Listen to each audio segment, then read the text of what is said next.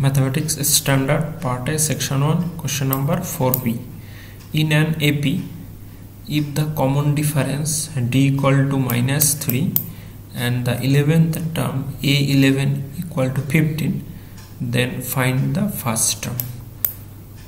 So let's find the answer. Given given common difference. So in an AP given common difference d equal to minus 3 let first term is a.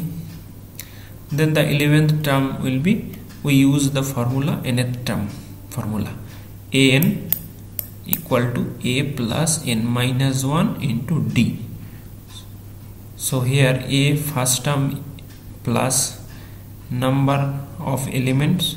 So given 11th term so 11 n equal to 11 minus 1 into common difference is equal to minus 3 so simplifying a11 equal to a plus 11 minus 1 that is equal to 10 into minus 3 that is equal to a11 equal to a minus 10 into minus 3 that is equal to minus 30 so a11 value of a11 is equal to a minus 30 since given a11 is equal to 15 that is 11th term value of 11th term is 15 so we are putting a11 equal to 15 that is imply a11 equal to a minus 30 so a minus 30 equal to 15 and a equal to 30 plus 15 hence a equal to 45 and the first term. So here a is the first term.